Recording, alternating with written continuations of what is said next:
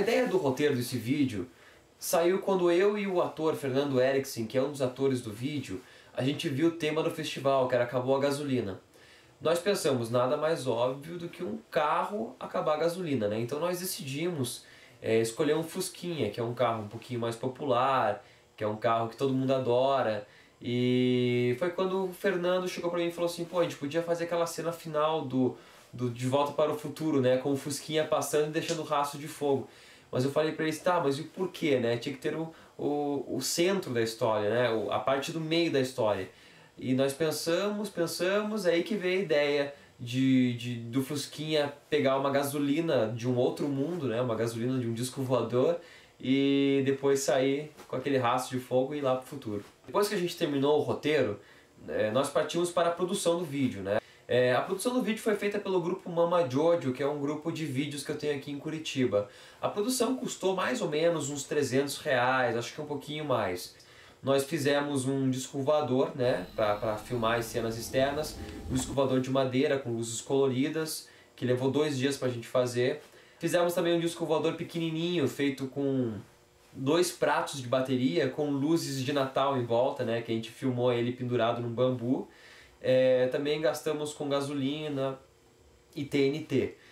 O interessante desse vídeo também foi que nós utilizamos um Fusquinha azul no primeiro dia de gravação. Só que esse Fusquinha foi roubado. Então, no segundo dia de gravação, nós tivemos que arranjar um outro Fusquinha que fosse semelhante, né? Você, se você assistir o vídeo de novo, você pode perceber que é, muda uma calota de um take para o outro. Às vezes um farol está aceso, no outro está apagado.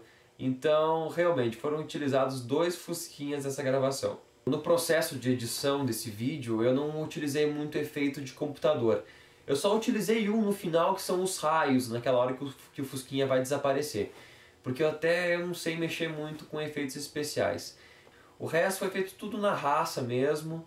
É, nós temos orgulho de falar isso, porque nós fizemos aquele rastro de fogo no chão e foi bem difícil. É, foram três tentativas mais ou menos. A primeira a gente tentou com serragem e gasolina, colocamos fogo, mas não deu muito certo, não queimou igualzinho. Aí nós tentamos depois com TNT e gasolina. A primeira tentativa foi mais ou menos, e daí na segunda tentativa queimou igualzinho, ficou lindo e foi editado. A música desse vídeo foi eu mesmo que fiz. Eu pluguei um teclado no computador, experimentei alguns barulhos, é, alguma coisa que soasse meio sinistro assim. Aí eu fiz a música. Eu acho que ela encaixou bem. Eu acho o formato minuto sensacional, é, porque ele é direto, dinâmico e todo mundo adora.